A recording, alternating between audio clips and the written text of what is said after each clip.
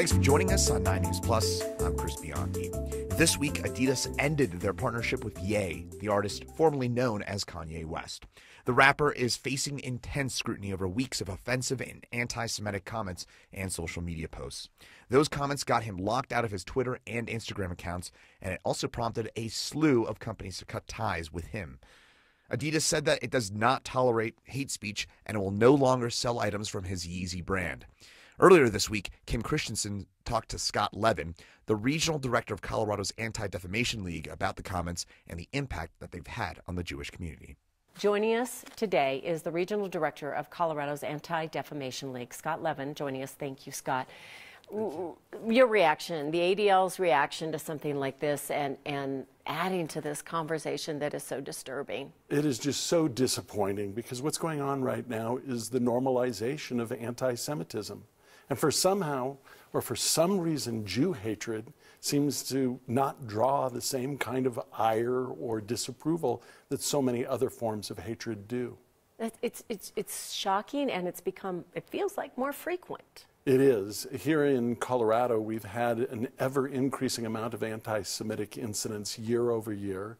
Our office is being contacted on a near daily basis, not just for anti Semitism, but also racism, homophobia, anti trans. Uh, everything seems to just be so much more out in the open right now. So I would, I would guess that the fact that people contact you is a good thing. You do need to know about these things. Absolutely. But it's overwhelming. It can be, but I think, look, we're never going to cure this disease of hatred or anti Semitism that takes place.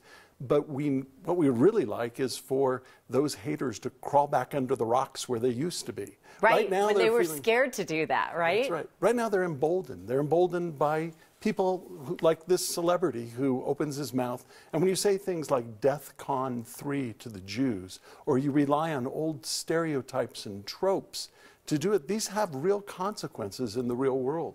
These are the kind of things that led to the attacks on synagogues in Pittsburgh and Poway. Mm.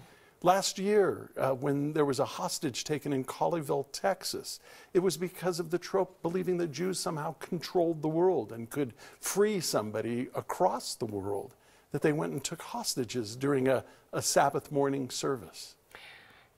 It, it, it, just it's so upsetting and nothing sacred people's and the belief system. But when you look at somebody like this that has all these twitter followers yeah. that has to be upsetting even on different level. Oh it is. Uh, i looked before i came over here today and kanye has something like 31 and a half million twitter followers. That's more than twice the amount of jews in the entire world. And as these kind of ugly things are spread around the world that he says it has a real impact in the real world. It doesn't matter all the pushback because it really only takes one person to really start believing this and doing something, a, a, serious act. Absolutely, but I think it's important that we do all speak out against it right yeah. now.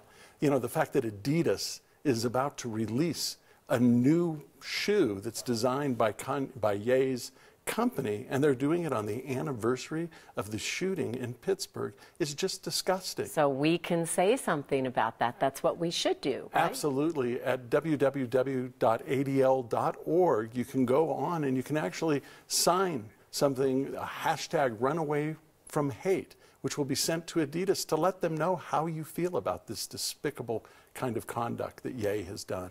So that, I guess, is the, the takeaway from this. Is, as, as upsetting as it is, we can all be involved in the right way and make some change. That's absolutely. We have to use our own voices to speak against hate.